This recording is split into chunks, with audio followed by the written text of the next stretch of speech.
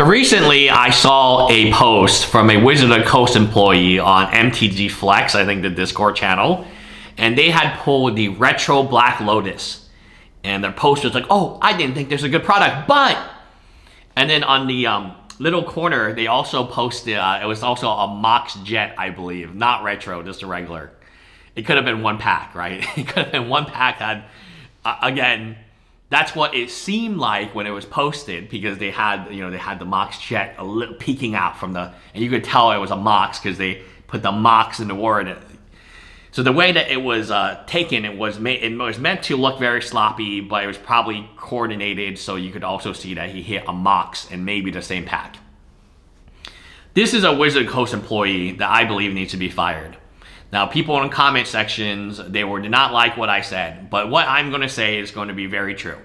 Wizard of the Coast is a disgusting company.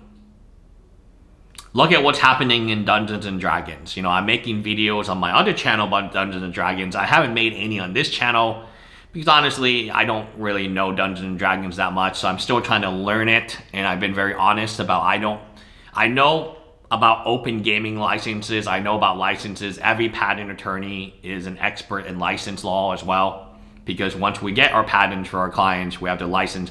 You know, when the client wants to try to make some money from it, then they hire us to license or look for licensing opportunities, uh, especially in software and, and well, I mean, any any patent. I mean, unless you're actually I would say 90% of the time, patents are really to get licensed to a bigger company, so you get paid.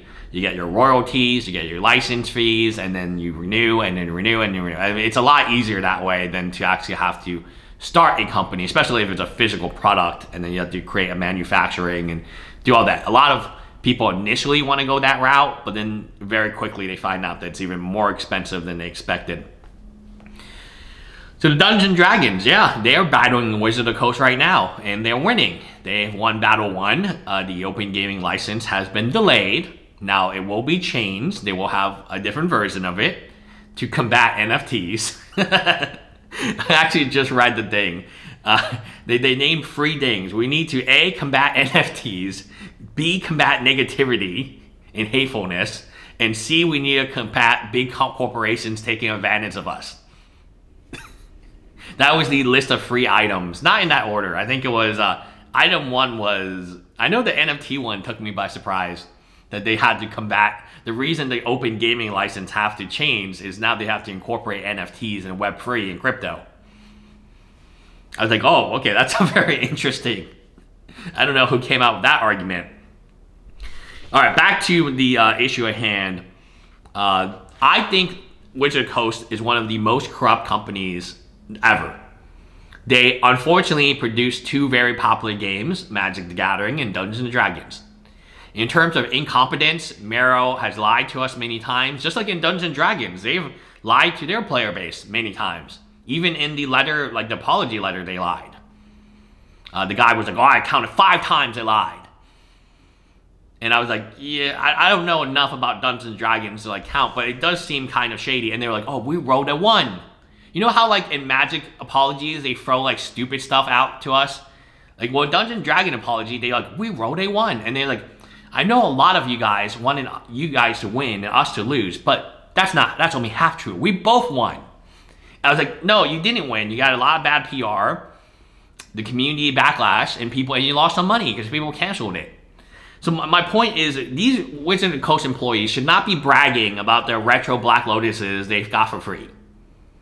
Okay, this is the last thing we need. Um, for this is the last thing any company would need when their product is a thousand dollars for a proxy. I mean, the last thing I would want to see is somebody who got who was a wizard coach. This is the same thing with um, special invites. When they invited that Dungeons and Dragon player with an elo of like 1300, which means he's a very bad player. Essentially, it's a guy who just just sucks at Magic and the special invites go to employees. It's no surprise that a lot of people who got those special invites later became employees today. The uh, the Emma Handies, who are, uh, I think her uh, name is changed again. Her name has changed again. Um, he, them, she, them, non-binary name changed again. Um, we have uh, Ellie, right, who you know needed a donation to pick up her paycheck it was a minimal price. But you know, hey, I got I'm gonna GoFundMe and double dip, right? Why not? Um, you have a lot of people who were special invited who are now employees or were employees of Wizard of the Coast for the Magic uh, Magic tournaments.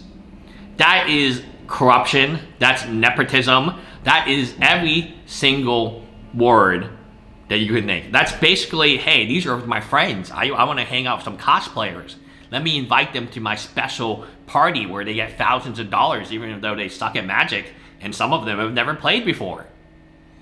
And the, the problem I have, it, it's the same thing that Dungeons & Dragons is having right now.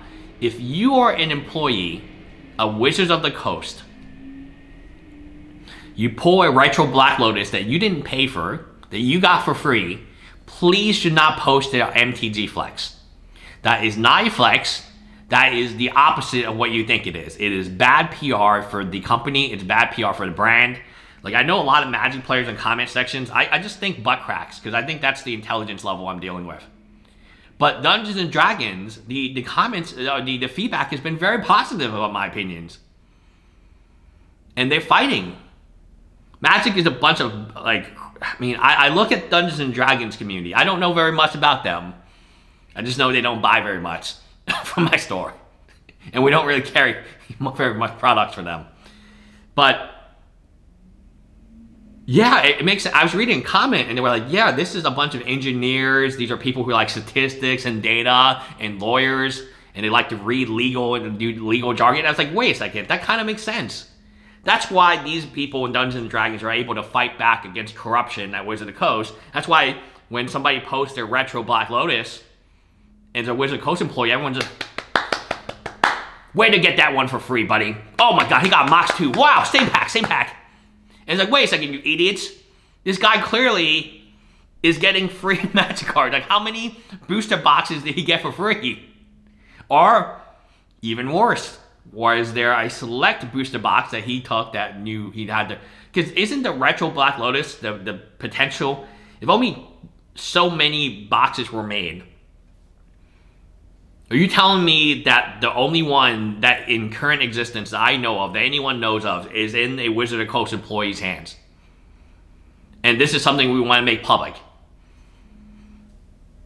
And this is something everyone in the Magic community just clap, clap, clap, clap, clap, clap. No, you dumbasses. Like, this is what I'm dealing with. So I guess Dungeons and Dragons, there's a lot of lawyers and agents. I so I'm being told yeah, a lawyer would look at this and say, oh, that is very shady and probably is not, you know, probability, a statistician or engineer, somebody with a math degree would look at this and say, ah, oh, this is not right. So the only time anyone's opened a retro Black Lotus, they got it for free and they were a blanking employee. Even Post Malone didn't get his retro Black Lotus. But the Wizard of Coast employee, Jesse, sure did get his retro Black Lotus. His or her. Jesse could be also a female name. I don't want to be discriminate, you know, I don't want to be banned for life again. So like maybe I should be going to Dungeons and Dragons. They seem to be like a smarter audience. And they definitely don't have a butt crack issue, right? Like not that I know of. So anyway. If only they spent more money. So yeah, there is an issue. Now I'm thinking about why haven't I done Dungeons and Dragons? Oh man, it's like magic without without the potential to compete against Amazon. Let's be honest, it is magic. Uh, but I'm being told there's a lot of lawyers and engineers at, at Dungeons who play Dungeons and Dragons, which may be true. There's not many lawyers and engineers who play Magic. I can tell you that much. That's why when a guy named Wizard of Coast employee Jesse, he wants everyone to know. Number one, he wants everyone to know he works at Wizard of Coast, which is dumb on itself. And number two, he wants everyone to know he opened a retro Black Lotus with a uh, Mox on the on the on the playmat it really did appear like that he was saying that he opened a Mox regular and a retro Black Lotus in the same pack, the way that the picture was presented. And yet everyone, all the dumbasses in the comments, they're like, oh man, he got lucky. What a great dude. Nah, man, nah, no one else has one. Like, come on, my dude. Have you even seen? Oh, I mean, come on, my guys. Use your heads. This is like the special invite. Oh, they must be super random. When the same mother effers get invited every time, and they're now a Wizard Coast employees. No, it's not super random, you dumbasses. Like, I, I cannot. Like, sometimes I, I think I'm in the Twilight Zone, and I'm just dealing with a bunch of lemmings and the Lemmings agree Wizard. No, Wizard Coast is an evil company that does evil things to its customers. They literally, in the Dungeon Dragons I covered, they're literally hating. They never had any one former or current employee. I don't know. It's a, it's you know a leak. They say that they hate us. They, well, they were saying that they hate Dungeons and Dragon players. They specifically hate and never have anything positive to say about their community. And I know this is true because look at who they hired.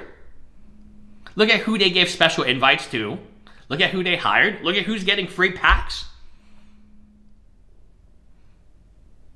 And then use your brain. Use your brain for a little bit, guys, and think, hmm, hmm. It's super obvious that a Wizard of Coast employee who got a free pack should not be posting a Black Retro Black Lotus the probability of that Wizard Coast employee having that card, which is equivalent to their salary, supposedly, and then and then potentially pulling a Mox jet on top of it is so ludicrous. The probability is so low it, it, it, cannot be there has to be something shady going on. It's the same with invitations right? The uh, top player at the time austin didn't get a single invitation. In fact you know who didn't the guy who one of the guys who won the mythic tournament didn't even get back in, an invitation a special invite back to defend the mythic tournament that he won. I mean come on that's crazy. You gotta at least give him a defense right? Invite out of all the people you invite back invite the guy who won but they kept inviting cosplayers, they kept inviting their own employees to these events, these Mythic Champ. Remember, there's only 68 of them. And even if you finish 68th, you still get a paycheck for 2,000 bucks, which then you can go fund me to get even more money. What I'm trying to express here is there's a lot of corruption on the Wizard of Coast company, and this is just more of it. And if you don't see this for what it is, you are a butt crack.